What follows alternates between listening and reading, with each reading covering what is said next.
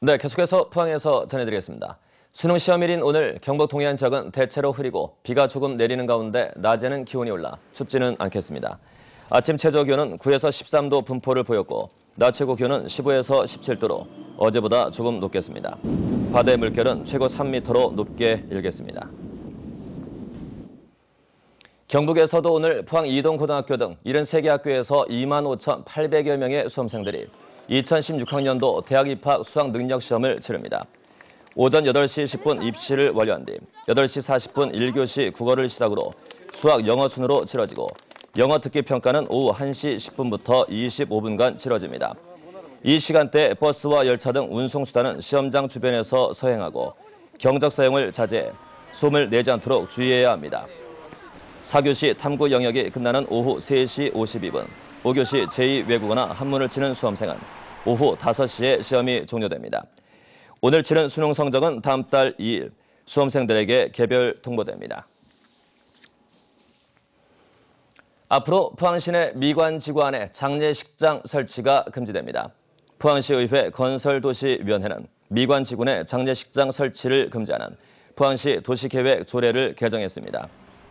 현재 포항시 미관지구는 형산 로타리에서 S포항병원 구간과 형산 로타리에서 오거리 구간, 그리고 형산 로타리에서 대잠 사거리 구간 등 9곳에 36만 제곱미터입니다.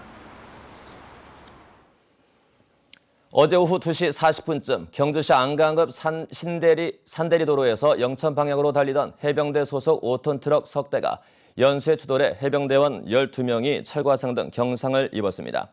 경찰은 가장 앞서 가던 트럭이 속도를 줄이면서 뒤따르던 트럭들이 잇따라 들이받은 것으로 보고 있습니다.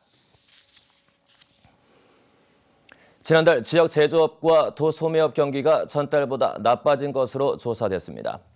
한국은행 대구 경북본부에 따르면 지난달 대구 경북 제조업 업황 지수는 57로 전달보다 6포인트 떨어졌는데 최근 2년 이래 가장 나쁜 수준입니다. 또 지난달 대구 경북 도소매업과 서비스업 업황 지수는 82로 전달보다 1포인트 떨어졌습니다.